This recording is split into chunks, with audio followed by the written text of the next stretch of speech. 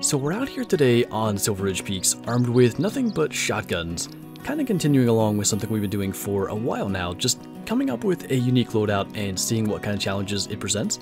But we have three different shotguns with us today.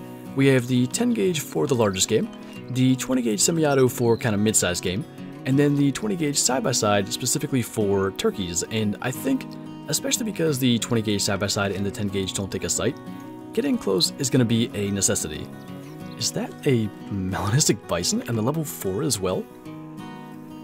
Okay. Pretty cool way to start this. I don't know what he's doing, but that's kind of cool. I don't know. I've had a couple of females. I'm not sure we've ever killed a male melanistic bison, and it was cool to notice it like from that far away. But we are going to have to run with the 10 gauge slugs for this. I just mentioned we're going to have to get close, and Another thing that I thought would add a layer of challenge was doing multiplayer, and I actually only chose Silver Ridge Peaks because it was the map with the most multiplayer servers open, and I'm quite glad we stumbled into this one. But yeah, until he actually gets into a zone, we'll sort of just slowly sneak up on him, and I don't think we're trying to take a shot until we're inside 50 meters. That is such a cool thing, and him being a 4 guarantees a gold if we make the shot, so I definitely want to make sure we get this if we get him to notice us, he'll sort of hang around a little longer, and then we are pretty well hidden here in the grass, so I just want him to sort of know we're here, kind of hang around, and give us a chance to get a little bit closer. He's right there, like 40 meters out. If we can sort of alert him, we're 0 to 50. I just want him to turn broadside, which a lot of times when they're alert they do. We actually got to attentive, We'll take our advantage to get like closer when we can. Let's see what he's gonna do. I really don't love the idea of a frontal, but... Oh, no way. I knew a heart shot was doable. To heart shot a melanistic bison with a shotgun might be one of the coolest things we've done, and in all likelihood will be the coolest thing we do this entire video.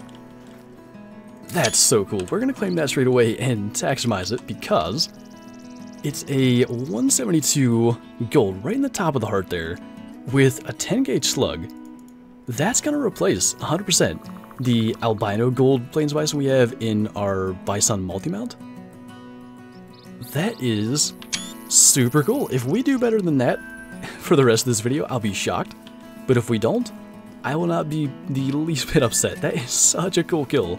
And like I said, I don't think we've ever even killed a male Melanistic, so for it to make gold is just a huge bonus. Evidently, today is a day for fur types because we now have a Grey Mythical Mountain Lion out here, and I'm thinking we can probably get it because the 20 gauge has the scope on it. We ought to be able to get that with the slugs there. It's broadside. Hopefully that's going to be a lung shot and it's going to run off, but we definitely got it in there through the vitals, so that's pretty cool as well.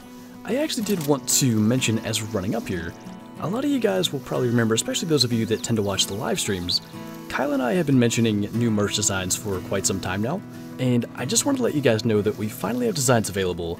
Some of those are on screen right now, and I'm super happy with them. Like, I've got a couple of hoodies and shirts myself, and I wear them literally all the time when I go anywhere, so if you want to check those out, I have a link in the description.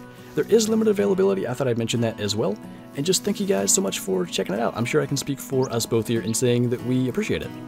But go figure, starting with a Melanistic Bison and then a Grey Mountain Lion, both golds. Definitely not a bad way to get into this. Maybe we should just hunt with shotguns all the time. I don't know what on earth this is. I kind of just wanted to kill one of them I didn't even see a gobbler in there. Maybe there was one? I just sort of looked away, and then when I looked back at the screen, the sky was about black with turkeys flying past. Now there's at least one gobbler.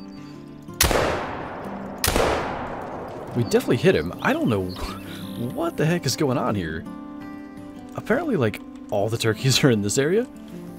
So there's technically a chance that the level 2 that we killed was a diamond. He did have the high estimates. That was odd. I Usually they drink on the opposite side of the lake, but they must have all been on the near side, and I guess maybe because of the lake being there, they flew back towards us. Just a 4.4. We actually hit him twice, so not a diamond. Pretty interesting circumstance there, though, seeing that many fly back at us. That really shocked me. Like I said, I just sort of happened to look away, but there are even some over on that side. And that's usually where I would expect to see them, but I guess there's just extra here. Something that I imagine kind of gets lost with these kind of hunts is that because we are always committing more time to actually bringing down an animal we actually choose to take it, we end up passing up a lot of things that I would otherwise actually go for, and I decided in this case to actually just go ahead and try to get it. So there's two decent level 3 elk here. I'm not sure, I gotta think this one would be the higher scoring, but I don't even know what gold for them is. I just figured with an opportunity to bring down an elk with decent wind and everything, we ought to be able to call it into 10 gauge slug range. Now that I'm kind of looking at it, this one might be bigger.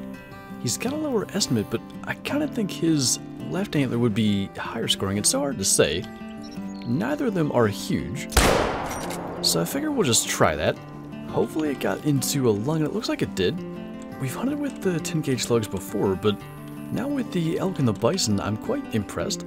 That was a silver, gold's 351, so I don't imagine any of them were going to be that big. But like I said, the opportunity was there to pretty easily take down an elk with a shotgun. And yeah, just the fact that we got the heart on the bison and then that single lung shot on the elk brought it down that quickly. I think it's something I should probably revisit, like the potential options the 10 gauge offers as like a more kind of viable loadout option.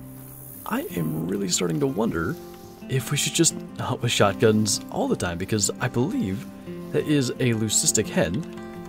They just went to feed, so I wasn't exactly sure where they were going to get to, and I didn't want to let them get too far out of calling range, but if they're going to feed there, we'll probably just try to scoot into that tree right there and call it in. And I don't even remember like what rare hen we have in our multi-mount, but it could definitely go to like a second lodge or something like that. We're not in the best spot here. She's kind of not wanting to get a whole lot closer than that, so what if we just kind of go for a shot from here? We definitely hit her. There was a decent level 4 mule deer somewhere in this area, but I think it actually ran off. Where did that just go? Did a pretty good job of kind of getting around me, but might as well take an extra turkey while it's here. Just, I guess, bonus cash. But a common and, and now a third kind of rare or uncommon with a, I'm pretty sure leucistic hen turkey now. So we had the melanistic bison to start off, the gray mountain lion, and now this, which, seeing the gray tail feathers there, definitely is a leucistic hen. And yeah, I think we gotta actually taxonomize that. I'm sure we've shot a leucistic hen at some point. By the way, 50 meters, 23 hits, that is not bad. Pretty pleased with that spread, but yeah, we might be able to throw that into a multi-mount somewhere in one of the lodges. Ooh, that's actually a pretty big bear. Not too sure how this is gonna go down. I guess like that. I didn't think... There's another 7. I was just gonna say... I didn't expect to see a 7 because so often, when I'm running around here on Silver Ridge Peaks and a bear goes by, I expect it to be like a level 4 male or a female, but two sevens? I think two golds unless we somehow brain shot this one. Yeah, 21 and 20 trophy rating. That was pretty good. And again, quite impressive from the 10 gauge. I was kind of just looking across here. It is the later elk drink time, so I want to take advantage of that and hit a couple of spots for them, but pretty cool we got to take a couple of black bears with the 10 gauge.